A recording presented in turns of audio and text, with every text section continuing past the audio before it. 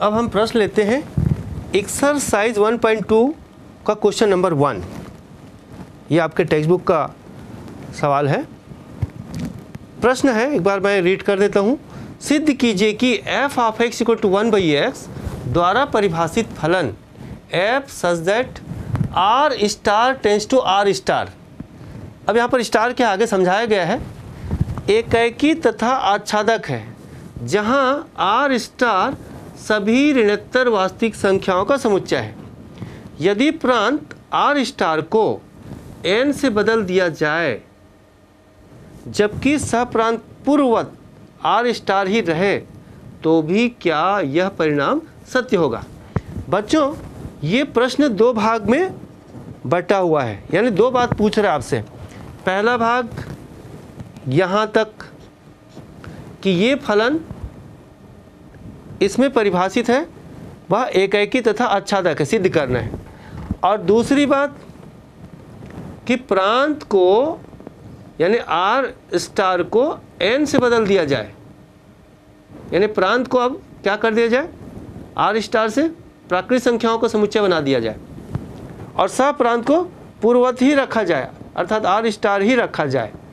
तो क्या यह परिणाम सत्य होगा? पूछ रहा है, दो बात पूछ रहा है। तो चलिए यहाँ पर हमको क्या दिया है? ये फलन है F of x is equal to one by x यहाँ पर एक्स क्या है? प्रांत। प्रांत क्या है? आर स्टार और आर स्टार क्या है? क्या लिखा है? आर स्टार सभी ऋणोत्तर वास्तविक संख्याओं का समुच्चय है। यहाँ पर लिख देता हूँ मैं। आर स्टार जो है, सभी ऋणोत्तर वास्तविक संख्याओं का समुच्चय। क्या मतलब? ऋणोत्तर वास्तविक संख्याओं का समुच्चय मतलब ऋणात्मक को छोड़कर बाकी सभी वास्तविक संख्याओं का समुच्चय। ठीक है? अब हम सबसे पहले परीक्षण करते हैं। एफ़ के एकाएकी के लिए। इसका परीक्षण करते हैं। तो हम ले लेते हैं। प्रांत का कोई दो अवयव लेते हैं। माना x1 and x two belongs to R star अर्थात प्रांत की ये दो अवयव। तब f of x1 is equal to F of x two मान लेते हैं। और इसके लिए x1 और x2 के बारे में क्या विशेष, विशेषता आती देखते हैं। तो f of x1 is equal to F half x two अब एफ़ हाफ़ एक्स वन कहाँ से निकालोगे? एफ़ हाफ़ एक्स से निकालोगे। तो F half x equal to one by x तो क्या हो जाएगा बच्चों ये? वन बाई एक्स वन और एफ़ हाफ़ एक्स टू क्या हो जाएगा यहाँ से? वन बाई एक्स टू तो there implies one by x one is equal to one by x two यदि ये बराबर है तो इनके व्युत्क्रम भी बराबर होंगे। पलट दीजिए इसको। अर्थात एक्स वन बराबर एक्स टू क्या मिल रहा है? क्या स्पष्ट हो रहा है? किसका परिभाषा स्पष्ट हो रहा है? F of x one is equal to F of x two there implies x one is equal to x two ये एक एक ही होने का शर्त है। अतः F such that R star tends to R star एक एक ही है। तो ये एक एक ही सिद्ध हो गया। अब हम दूसरा देखेंगे। आच्छादक। एफ़ के आच्छादक के लिए। इसमें हम सहप्रांत के अवयव लेते हैं। माना एक स्वच्छ अवयव।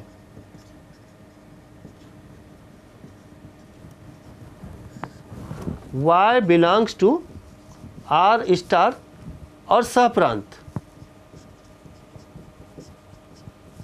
ये लेते हैं।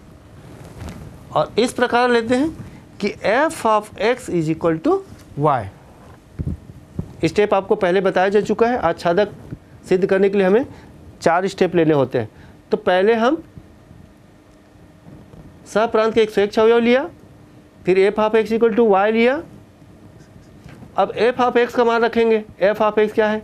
वन बाई एक्स है। तो one by x equal to y अगला काम क्या होता है? एक्स का मान वाई के पदों में निकालना। तो एक्स इज़ इक्वल टू क्या हो जाएगा? वन बाई वाई हो जाएगा। अब हम यहाँ पर परीक्षण करना है। तो इसको परीक्षण करने के दो तरीके हैं, मैंने कहा। दो तरीका बताया था। या तो सीधा सीधा यहाँ पर लिखो कि क्या इसके संगत वाई के वाई मतलब सभी ऋणोत्तर वास्तविक संख्याओं के लिए प्रांत में कोई कोई अवयव मौजूद है। ये देखना, या फिर हम एक और तरीका बताया था। देयर फोर जब x equal to one by y therefore F of x is equal to F of one by y अब, इसको कहाँ से निकालेंगे? तो हमारा फलन कैसे परिभाषित है? F of x equal to one by x तो इसको आप पढ़िए F of this is equal to one by this तो ये निकालना है।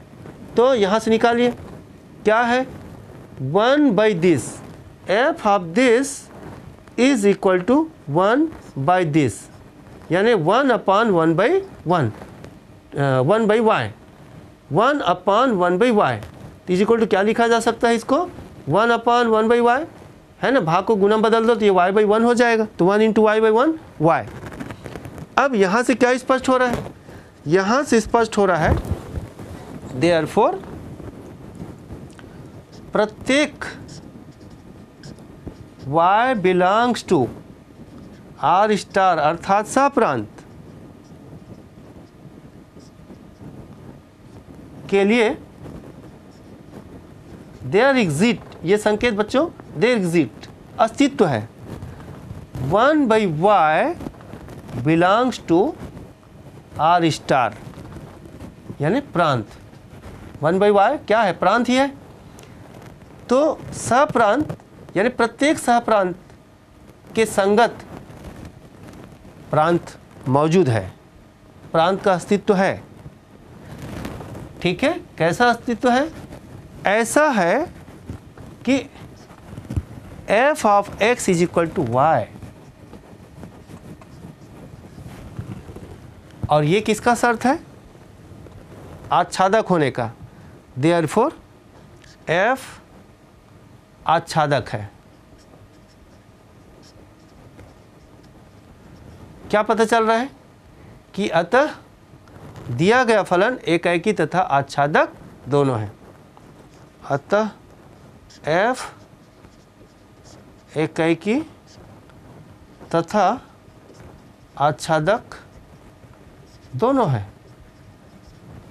तो बच्चों, यहाँ पर आपको समझने की ज़रूरत है आच्छादक में। आच्छादक में बताना ज़रूरी होता है कि सप्रांत के प्रत्येक अवयव, प्रांत के किसी न किसी अवयव का प्रतिबिंब है और यही स्पष्ट हो रहा है यहाँ पर। यदि आप यहाँ पर कोई भी वास्तविक संख्या ले सह प्रांत का कोई भी एक अवयव लेते हैं, कोई भी वास्तविक संख्या लेते हैं तो क्या वह, यानी एक्स का मान वास्तविक संख्या होगा कि नहीं होगा? जैसे मान लीजिए आप यहाँ टू लेते हैं तो ये वन बाई टू और वन बाई टू वास्तविक संख्या है कि नहीं? है। इसका मतलब प्रांत में मौजूद है। तो इस प्रकार से हमको सिद्ध कर सकते हैं। अब बच्चों, इसका दूसरा भाग है। दूसरा भाग देखते हैं हम लोग। अब इसका दूसरा भाग क्या कहते हैं? यदि प्रांत आर स्टार को एन से बदल दिया जाए, इसका प्रांत ये है, इसको बदलना है किससे? प्राकृतिक संख्या। तो यहाँ पर एफ़ कैसा परिभाषित हो रहा है? एन टेंस टू कहता है, जबकि सह प्रांत पूर्ववत। यानी ऐसे ही रहे। आर स्टार प्रांत को बदल दिया गया। तब हमको दिखाना है कि क्या यह परिणाम सत्य होगा। यानी फलन एक एकी तथा आच्छादक होगा, ये सिद्ध करना है। तो यहाँ पर आपको जानना है क्या कि यहाँ पर इस फलन पे x belongs to natural number है। ठीक है? अब हम पहली बात को सिद्ध करके देखते हैं। F एकाएकी के लिए। इसका परीक्षण करते हैं। प्रांत के दो अवयव लेते हैं। माना x1 and x2 belongs to प्रांत। यानी प्रांत क्या है इसका? नेचुरल नंबर है। ठीक है? तब f of x1 is equal to F of x2 के लिए f ऑफ़ x1 क्या हो जाएगा? वन बाई एक्स वन और f ऑफ़ x2 क्या हो जाएगा? वन बाई एक्स टू जब वन बाई एक्स वन बराबर वन बाई एक्स टू तो देयर फोर एक्स वन बराबर एक्स टू। ठीक है? क्या स्पष्ट हो रहा है? कि F of x one is equal to F of x two के लिए there implies x one is equal to x two मिल रहा है। अतः एफ़ एक की है। अब इसका दूसरा भाग देखते हैं। एफ़ के आच्छादक के लिए। इसमें हम सप्रांत के अवयव लेते हैं? माना, y बिलोंग्स टू सप्रांत यानी आर स्टार यानी हम एक स्वेच्छा अवयव ले रहे हैं। और इस प्रकार ले रहे हो F of x equal to y अब एफ़ ऑफ़ एक्स क्या है? F of x one by x तो one by x is equal to y. अब एक्स का मान वाई के पदों में तो आप क्या लिख सकते हैं इसको? X equal to one by y. अब यहाँ पर आपको समझाना है कि y बिलोंग्स टू, अब प्रत्येक y बिलोंग्स टू y क्या है? सप्रांत क्या हुआ है? y belongs to R star, यानी सप्रांत इसके लिए there exist one by y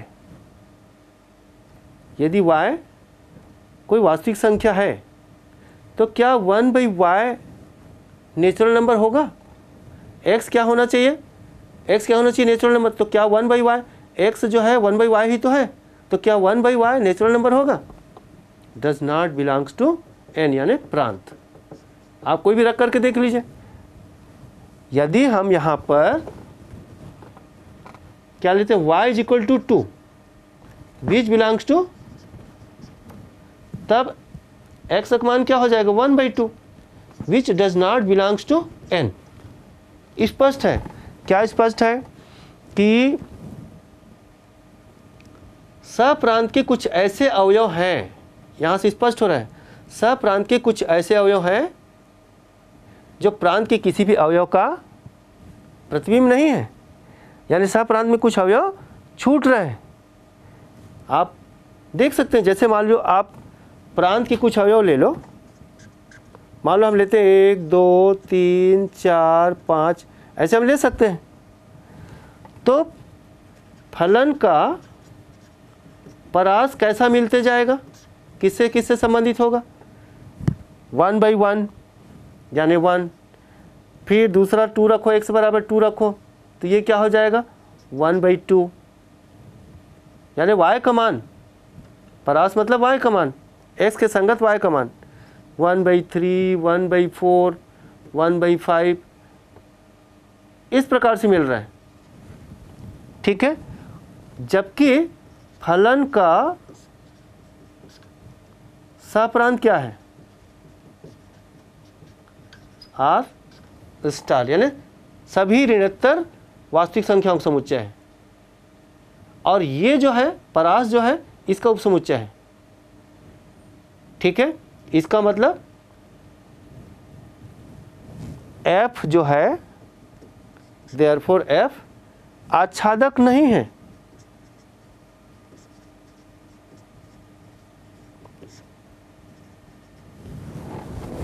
इसको हम दो तरीके से सम, समझ सकते बच्चों। यहाँ से ही स्पष्ट हो गया इसी लाइन से ही स्पष्ट हो गया। और तो फिर हम ऐसा कुछ दिखा करके भी कर सकते हैं। परास ऐसा आ रहा है यानी सभी ऋणत्तर वास्तविक संख्या नहीं आ रहा है। छूट रहे बहुत कुछ छूट रहे है। यानी परास इज़ नॉट इक्वल टू सहप्रांत दिख रहे हैं? परास सहप्रांत के बराबर नहीं है तो आच्छादक नहीं है। तो इस प्रकार दूसरी जो स्थिति है उसमें परिणाम जो है बदल गया। पहले स्थिति में क्या था? एक एक भी था और आच्छादक था। लेकिन यदि इसके प्रांत को यदि हम प्राकृतिक संख्या द्वारा बदल दे, बदल दें तो ये परिणाम सत्य नहीं है। एक ही तो है, किंतु आच्छादक नहीं है। तो इस प्रकार से हम इसको दिखा सकते हैं। नोट करेंगे बच्चों।